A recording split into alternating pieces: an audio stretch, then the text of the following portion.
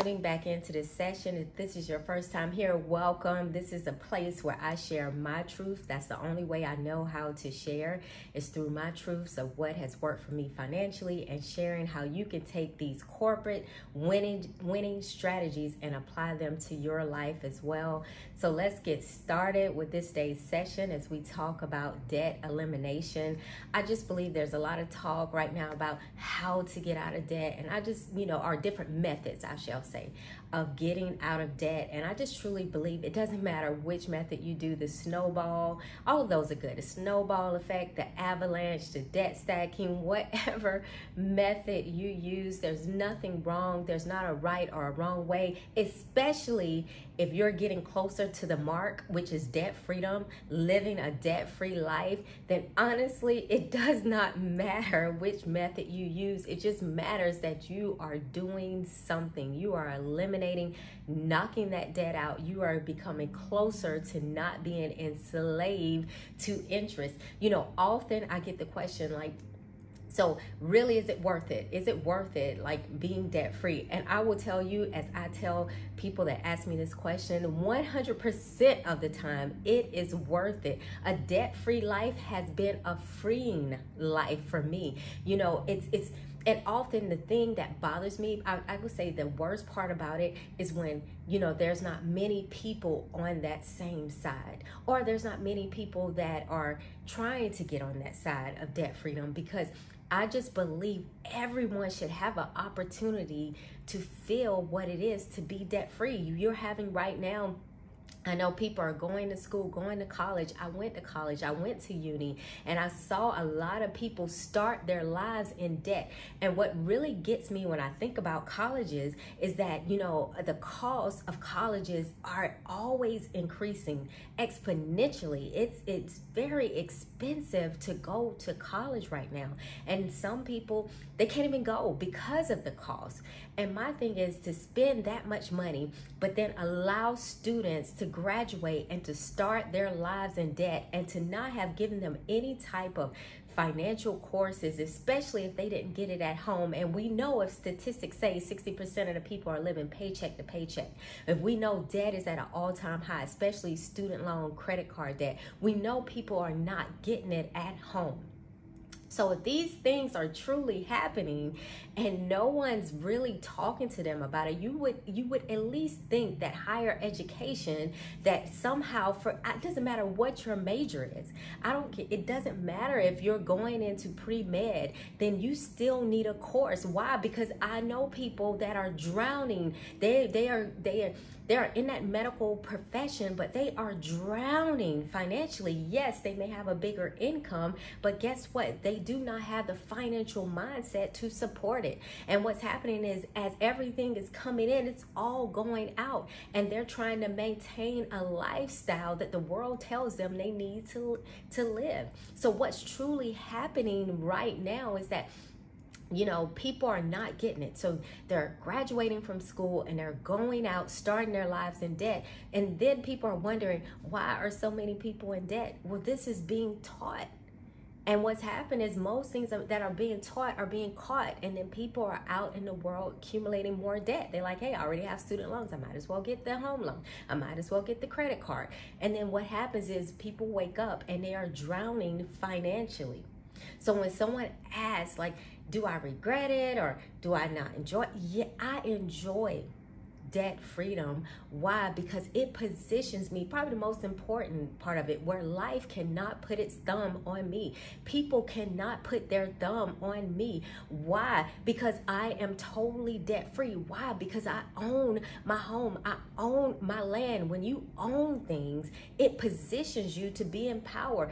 This is why, you know, this the birth of this channel is centered around ownership you know, I've often said this. I remember watching an old time interview with Oprah, and one of the things she said that was very beautiful about being wealthy is ownership, you know, because for people that look like she and I, think about it, you know, one time it was difficult to own.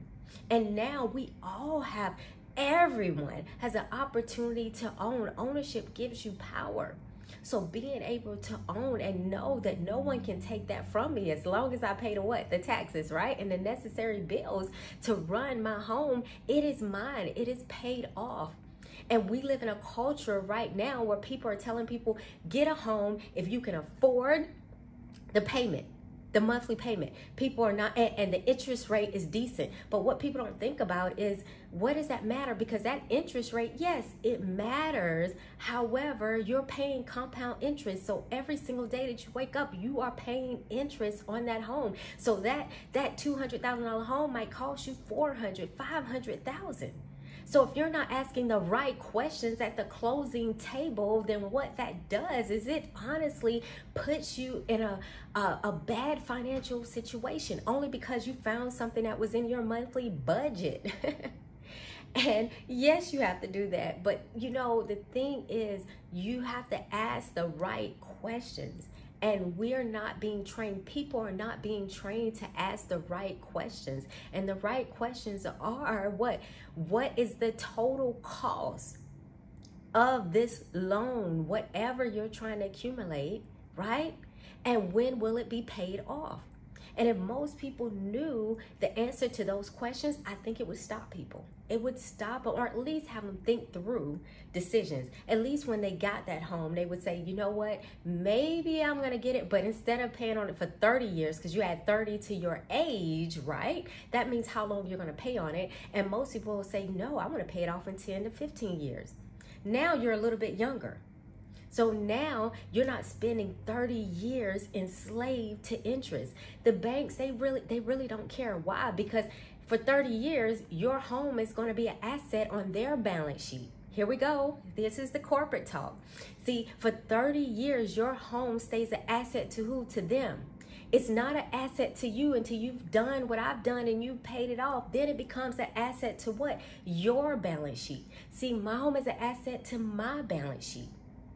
So now that increases my net worth. And so that's the type of stuff they don't want you to talk about. See, corporations don't want to talk about this. They don't want you to even think about this. This is just really common sense financial knowledge that they do not want you to think about. Why? Because if you did, you would make different decisions. If you took that loan, like I said, you would pay it off what? Early. So you really have to think through your financial choices. But I do believe it's starting with higher education. I do believe it's starting in grade school where, you know, not teaching people. I just remember in, in school, I remember a teacher just showing us just how to balance, you know, and this wasn't part of the curriculum, but how to balance a checkbook. See, I remember in uni having a professor that said, do not spend your money, hey, uh, at McDonald's. Well, one, we know why, you know, you don't want to spend it all these fast food places. It's not good for your health. But he said the number one reason is because you can take that money and you can save it. And when I heard him say these things and he put the numbers on the board and he showed how, how much just saving a little could put you in a make you a millionaire just by not spending it, investing it in food places that are bad for your health. It opened my eyes. He didn't know at that time. I was about 16 years old going to college and to hear at age 16 and I, my counterparts and my people around me were 18 plus years old and I was so moved by that. I was so moved. So when people ask me in uni, they're like, why are you why are you spending time doing these things versus partying or whatever? And I was like, man, all I saw was financial freedom. All I saw is that I did not want to start my life in debt. All I saw is what he painted was that I uh, he painted a picture where I didn't have to work for 40 years to only receive 40% of the pay. I could really position myself like these corporations that, that I was planning, right, to go and do their financial books as an accountant. He showed me how I can win. See, that's not happening. See, those are the rare gems. See, channels not like my, not just my channel, but channels similar to mine. You got to understand, those are the rare gems, and people miss it. See, what I know the problem is, if most of you could pay, if you had to pay to hear this session. You had to pay to hear some of the financial sessions. And I'm talking about the people that are truly they've done it or doing it financially. Because there's some people that know the knowledge, but they're not applying it. And they and it's hard and, and they can tell you but they really can't lead you there. But there's some serious people out here in youtube university. There's some serious people out here like myself that have positioned themselves that are winning. And what i know is that because it's free most people will not listen. They will not listen but if you attach a dollar amount to it, what I know is most people would start to listen. They would truly start to listen to the message of financial freedom. But if you're here and you're listening to it, you have it. You have someone, you have people that are just speaking their truth and that want you to win because these corporations don't. I just explained why they do not want you to win. Why? Because if you don't win, you will be enslaved to them as far as paying interest. You will be enslaved to their job. We need to talk about that because a lot of people are enslaved to their job they have to work a job they don't like, people they don't like, a boss they don't like, and guess what? And I understand now. Now there are situations where you may not like it, but guess what? Because if you're in a situation and you're like me, you're debt free. Guess what? You don't owe anyone. You have money saved. You are saving money. You are you are winning financially, and you still decide to be in that situation. Then you still are winning. Why? Because at any moment you could just get up and say, "I'm through." You have the power. They do not have the power. See, the job has a power or that business has a power over you when you are entrapped to what we've been talking about today to debt. You are entrapped and enslaved to interest. So I know right now, I just want to give you, as I close this out, some actionable steps that you can take. Number one, I talked about this on a prior video or probably videos, but number one, get your emergency game up. Get your emergency fund up. Get your adequate emergency fund. Figure out what you need in the economy that we're in and save money. It will save you. Get together emergency fund. After you have that emergency fund, or while you're building that emergency fund, you should be knocking debt out left and right any way you can. I know it's going to be tempting to say, no, I'm going to purchase this thing because, you know, social media is telling me I should be having the latest, this latest car, this latest whatever. Guess what? You have time to get that. When you're debt free, guess what? You can just pay for it. You're going to, don't have that FOMO, that fear of missing out. You know, I hear some people say, no, if I don't get this right now, what's going to happen? You're going to have to pay more later. So what? When you're debt free and you have money, you just, you, you'll pay it. Don't let them trick you. Don't let, don't allow these tricks of corporations, these tricks of, when I say corporations that are behind the social media, don't let them trick you into that. So don't worry, knock out that debt. Have a laser focus. So have the emergency fund. Get out of debt. And as you're doing that, once you are free, you have the emergency fund, you are out of debt, then you should be running to the to, to the finish line towards saving money. Now you should have so much money now that you could allocate towards saving. Your life should just be dedicated to saving. Yes, enjoying. You're going to have to enjoy.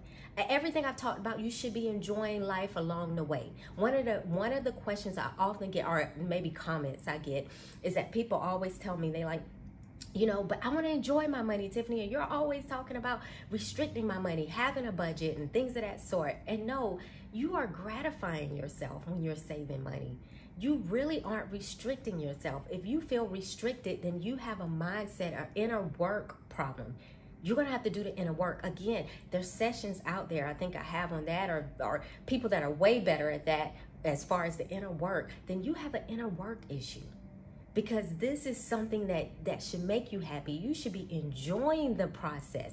You enjoyed getting in debt right? You enjoyed spending the money buying the things. Well you should enjoy getting out. Get happy about paying that that lender. Get happy because every time you pay them you're getting closer to what? Financial freedom. You're getting close to freeing yourself and then it starts to look like like like you're living a debt-free life. As i often say when I'm, I'm posed with a question i often have to tell people debt-free life is a freeing life. I won't I, i'm not going back. God willing i am not going back And what happens is it frees you. If you're doing these things, you have emergency fund, you're staying faithful to your budget, you're paying off debt, you're saving money like no other. See, what that does is you don't have to borrow from them. If you want to borrow, you can borrow from yourself. See, this is how I understood it. I don't want to borrow your money, corporation. I'll borrow my own money. And guess what? I'll tack interest on it and pay myself interest. Why? Because I'm going to build wealth for me, not for you. We it's time out for that. We have built wealth too long for too many of these corporations. So wherever you are right now, this video should not be, this session should not be above you. It should not be beneath you, uh, beneath you. It should be right where you are. And I wanted to challenge you right where you are. Make sure that you start to develop a financial plan and you start to work it. And I promise you, your life will change financially. Thank you for tuning in. Have a beautiful day. Hasta luego.